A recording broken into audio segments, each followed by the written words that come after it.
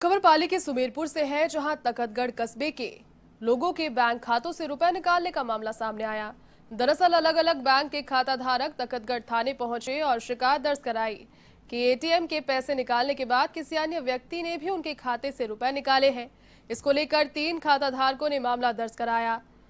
खारचियावास मोहल्ले में रहने वाले रूपाराम घाची ने बताया कि 13 जून को बैंक ऑफ़ बड़ौदा शाखा के बाहर लगे एटीएम से दस हज़ार रुपए निकाले थे। बाद में किसी अज्ञात व्यक्ति ने पाँच दिन में एक लाख पच्चीस हज़ार रूपए उसके खाते से निकाल लिए।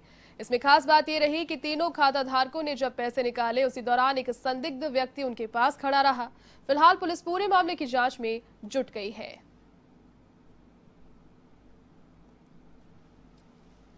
देश और दुनिया की हर छोटी बड़ी खबर के लिए सब्सक्राइब करें एवन टीवी न्यूज़ साथ ही बेल आइकन को प्रेस करें ताकि आप पा सकें ताज़ा खबरों की नोटिफिकेशन